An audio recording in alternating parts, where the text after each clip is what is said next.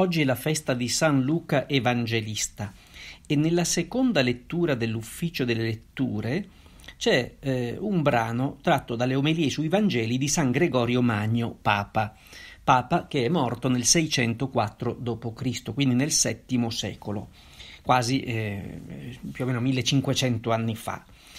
E ci sono delle parole che mi colpiscono vivamente perché le trovo quanto mai attuali. Sentite cosa dice. Ascoltiamo quello che dice Gesù nell'inviare i predicatori. La messa è molta, ma gli operai sono pochi. Pregate dunque il padrone della messe perché mandi operai per la sua messe. Commenta San Gregorio Magno. Per una grande messe gli operai sono pochi. Di questa scarsità non possiamo parlare senza profonda tristezza poiché vi sono persone che ascolterebbero la buona parola, ma mancano i predicatori.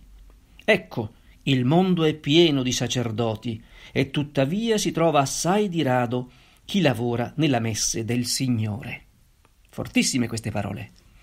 C'è pieno di sacerdoti, ma pochi che predicano la parola del Signore. E continua.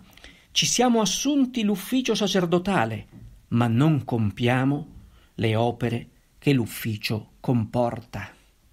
Chissà se questa mattina tutti i sacerdoti sono andati un po' in crisi leggendo queste parole di San Gregorio Magno Papa.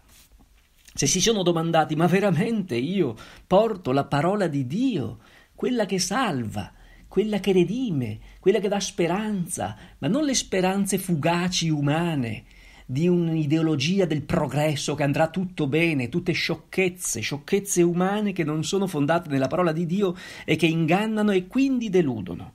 Ma la vera parola di Dio, quella che risolleva dall'unico vero male del mondo che è il peccato e porta a vivere in grazia di Dio. Continua San Gregorio.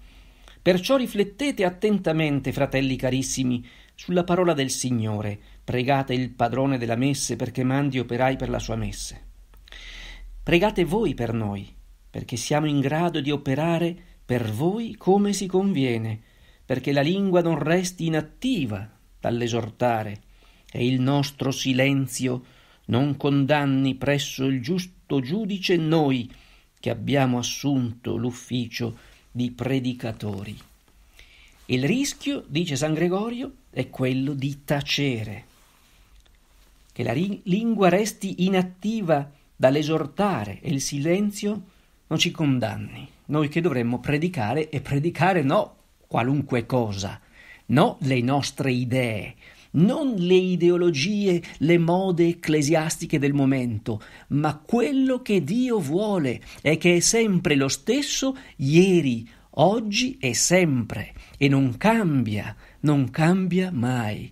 Non succeda che con la scusa di cambiare il modo di esprimere quello che Dio ci dice, si finisca per cambiarne il contenuto.